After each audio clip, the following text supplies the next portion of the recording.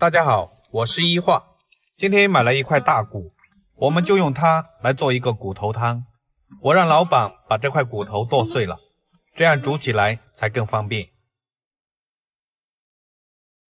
首先准备好削好皮的胡萝卜，用之字刀将它切成块，这样切出来的胡萝卜是一个三角形。切好装入碗里面备用。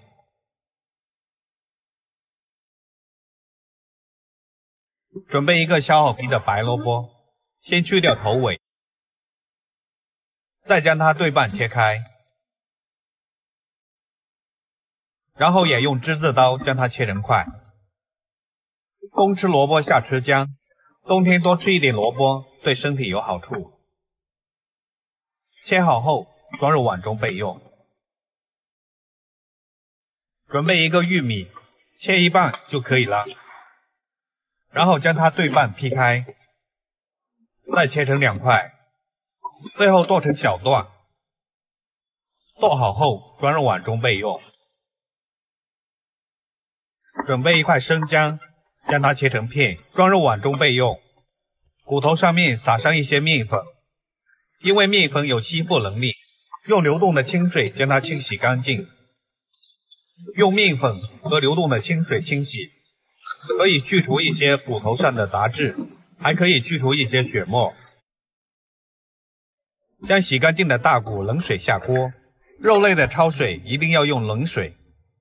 放入葱节、几块姜片、一些料酒去腥，开大火将其煮开。煮开后捞去浮沫。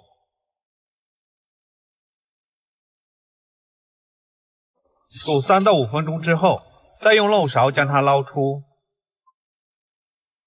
放入一个大一点的盆中，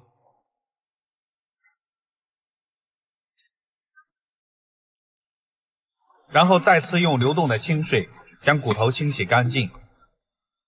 经过几次清洗和焯水之后，就没有任何的腥味。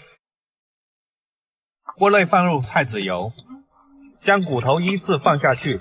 煎香，这样进行过油煎的骨头汤色会变得浓白。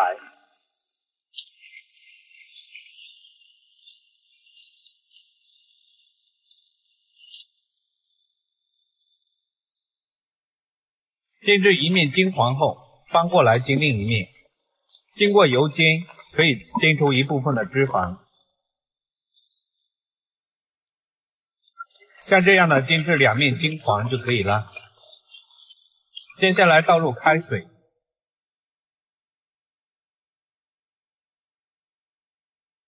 将开水没过骨头，放入姜片，扣上盖子，大火煮开，煮八到十分钟之后打开盖子，这个时候的汤色已经很白了。然后将胡萝卜倒进来，玉米也倒进来，白萝卜也倒下去，盖上盖子，转小火煮四十分钟以上。中途我们打开盖子，用勺子稍微翻动一下，这样汤汁会变得更加浓稠。再次扣上盖子，大概四十分钟后打开盖子。哇，好香啊！这个时候的汤色已经非常的浓白了，骨头上的肉也煮烂了。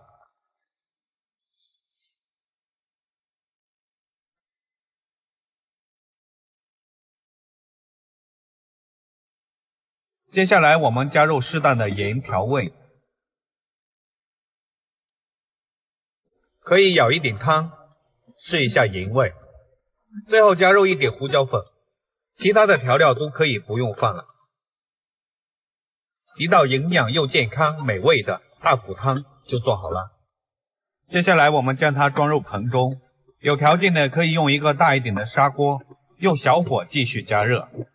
冬天来上这样一碗热气腾腾的骨头汤，喝完整个身子都是暖暖的，既暖胃又暖心。如果您喜欢我的视频，就赶紧收藏起来试试吧。